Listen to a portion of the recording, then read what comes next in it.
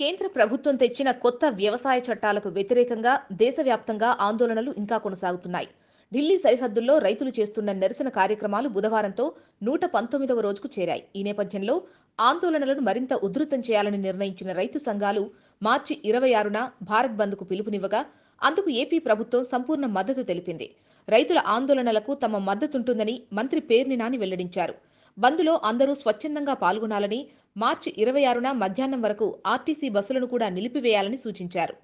మూడు వ్యవసాయ చట్టాలను సంబంధించి వెనక్కి తీసుకున్న నేపథ్యంలో వ్యవసాయ సంఘాలన్నీ కూడా ఈ నెల ఇరవై ఆరో తారీఖున ఇరవై ఆరో తారీఖున భారత్ బంద్ నిర్వహించాలని చెప్పని పిలుపునిచ్చాయి. అది మనందరికీ తెలిసిన విషయమే. దేశవ్యాప్తంగా రైతు సంఘాలన్నీ ఈ నెల ఇరవై ఆరో తారీఖున తలపెట్టినటువంటి అంటే కేంద్ర ప్రభుత్వం చేసినటువంటి వ్యవసాయ చట్ట మూడు వ్యవసాయ చట్టాలకు వ్యతిరేకంగా భారత్ బంద్ నిర్వహించాలని చెప్పని ఇచ్చిన పిలుపుకి ఈ గూడ్స్ వెహికల్స్ నడిపేటువంటి ఓనర్లందరూ కానీ వారందరూ కూడా వివిధ వర్గాల నుంచి పెద్ద ఎత్తున మద్దతు కూడా వ్యక్తమవుతున్న సంగతి మనందరికీ తెలిసిందే.